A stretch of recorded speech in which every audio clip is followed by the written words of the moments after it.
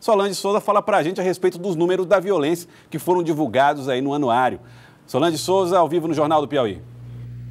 Joelson, Piauí registra, em média, dois casos de estupro ou de tentativa de estupro por dia. Os dados foram divulgados hoje, fazem parte do décimo anuário de segurança pública. Aqui no Piauí, é uma média de 16 casos de estupro para cada grupo de 100 mil habitantes. No ano de 2015, 539 pessoas foram estupradas, um crescimento médio de 12% em relação ao ano de 2014. Nós vamos acompanhar agora dados mais detalhados, divulgados pelo décimo anuário da segurança pública. Pública sobre casos de violência letais no Piauí. Em 2014, 734 casos. Em 2015, 667 casos, uma variação negativa de 9,4%. Sobre estupros, em especial, 2014 casos, em 2014, 481 casos. Em 2015, 539 casos. Esse aumento médio de 12%. Em Teresina, em 2014, 171 casos em 2015, 189 casos,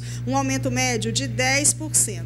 Apesar desses números considerados negativos quando se fala de casos de estupro, o Piauí é considerado o quarto estado mais seguro do país para se viver e lidera o ranking na região nordeste do país quando se fala de segurança. Mais detalhes a partir de agora com o secretário estadual de Segurança Pública. Secretário, boa tarde. Esses números de estupro foram surpreendentes. Boa tarde. Boa tarde. Pelo que nós é, temos acompanhado ultimamente, e a gente tem esse acompanhamento nas nossas estatísticas que confirma com o anuário, realmente havia essa previsão de aumento, até mesmo porque todas as ações que nós tivemos de repercussão no nosso estado, nós tivemos a presença e a elucidação desses casos. Há uma probabilidade maior que, em função dessas ações, as pessoas tenham é, a coragem de registrar e tanto que nesse registro acrescenta-se esses números, mas assim é algo muito complicado por questões até peculiares relacionadas ao estupro, mas aquele que nós é, temos as investigações, todos eles foram elucidados e os acusados estão presos. Nós temos uma questão cultural, o que a gente consegue perceber.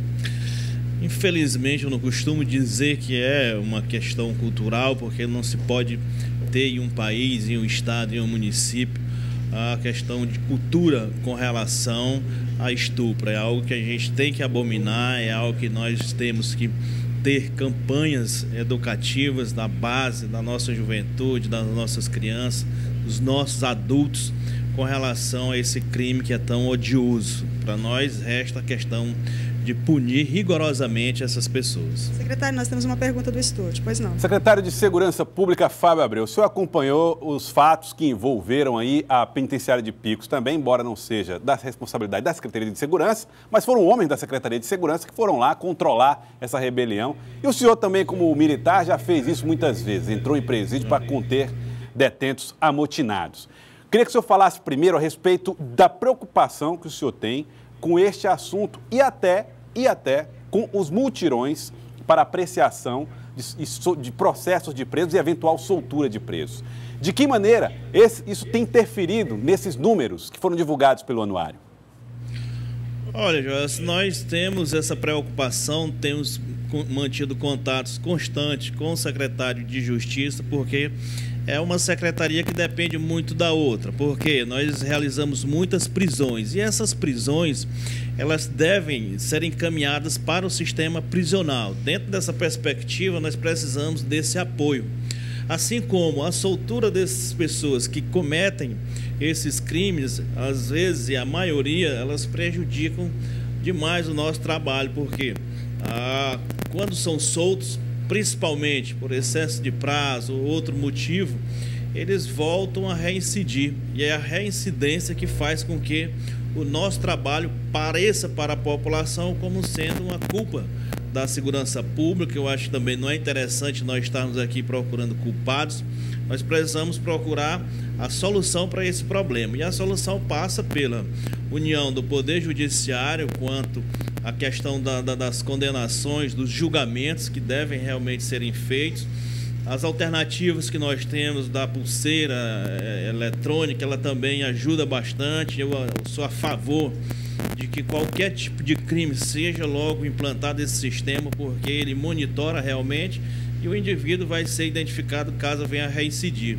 O que nós não entendemos e não concordamos é a soltura em que aquele indivíduo não vai ser acompanhado, como é o caso que está sendo do, dos caixas eletrônicos. Secretário, o senhor eh, obteve informações agora há pouco da situação na penitenciária, tudo sob controle lá em Pico?